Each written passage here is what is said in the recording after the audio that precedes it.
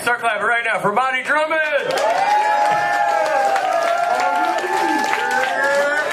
What's going on? How we doing tonight, man? Yeah, Atlanta, what's going on, man?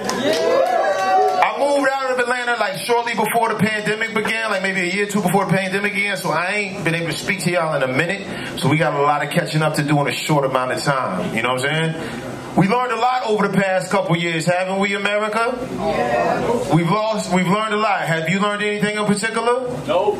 He's a dumb motherfucker, boy. I've learned some significant shit. Take, for instance, I had no idea they served Hennessy at the Oscars, you know what I'm saying?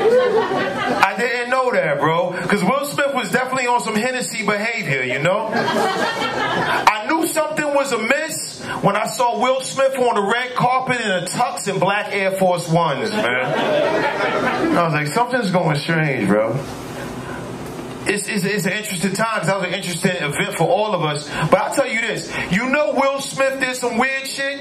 If after Will Smith smacked uh, fucking Chris Rock, the next day Kanye was on Twitter like, you know what? I need to go get some help, yo. You know what I'm saying? Maybe I need to step back and think about things, get on the meds, man. You got to be careful what you ask for, and life is crazy. Can we agree with that? Yeah. No doubt. For the past couple weeks, I've been going to sleep. I've been like, damn, I'm tired of seeing Kanye West and Pete Davidson on my timeline. I woke up the other morning, it was World War III on my timeline. I was like, damn, I missed the old Kanye, man. Bring Kanye back. Life is real right now and it's coming at you fast, so you got to use methods of escapism. One of my favorite methods of escapism is watching movies. I love watching movies to escape reality. And one of my favorite directors to watch when I want to escape reality is Wes Anderson. Are we all familiar with Wes Anderson? He's a dope director, bro. Wes Anderson makes these incredibly creative, incredibly imaginative movies. Every time you watch a Wes Anderson movie, it's like you escape to a different world, you know? A world where there are no black people at all. You know what I'm saying? It may be one it may be two, but it's never a lot. You know what I'm saying? I guarantee you it's easier for an African to cross into Poland trying to escape the Ukraine than it is for a nigga to get cast in a Wes Anderson movie, man. That's a fact. He don't cast none of us, bro. We like him too, man. Make some noise if you steal from your job. Make some noise. If you work here, you don't gotta answer. If you work here, you don't gotta answer. Who steals from their job up in here? No doubt. I don't want to know where you work, but what do you steal from your job? Food? No doubt. Make some noise for food. Food, clothing, shelter. Anybody else? Anybody else who steal from their job in here? Huh? Time. Time, no doubt. Steal some money. No doubt. No doubt. Make some noise for her. She's a fucking thief steal from my job, man. I, I, work at a warehouse in Queens that's a storage facility for an online grocery store that specializes in high-end meats. You know? I got so much filet mignon, rack of lamb, and duck meat in my refrigerator. I call my, my refrigerator the Garden of Eden. You know what I'm saying? That's a fact, man. It's like, and we they recently they recently hired a security guard to deter thefts. You know? I told the homie they gotta have Jesus in here with an AK-47, family. Nothing gonna stop me from eating this duck meat, family. You know what I'm saying?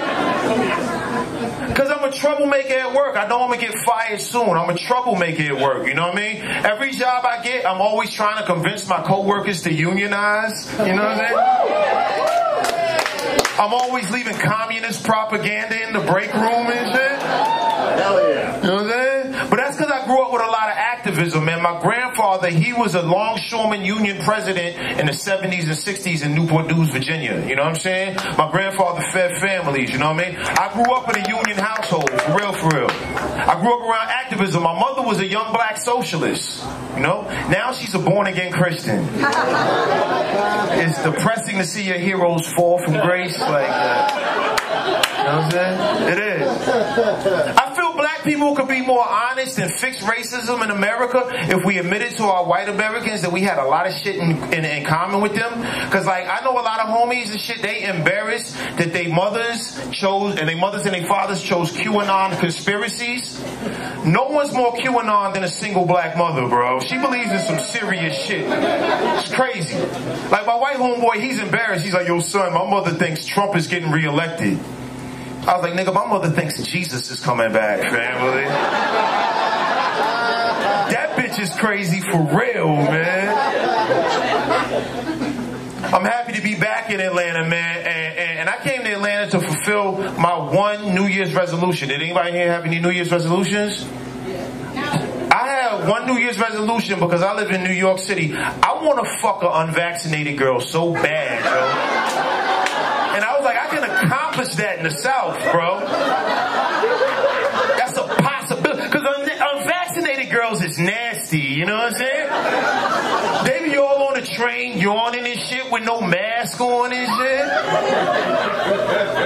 Now, I did have to get vaccinated shit, you know what I'm saying? And I got vaccinated because I saw it was real up there. But I hate when white people virtue shame black people for not getting vaccinated because it's a lot easier to let the government put a needle in your arm when you didn't grow up with your grandparents telling you about the Tuskegee experiments. You know what I'm saying? So we got some trepidations behind that shit, dig?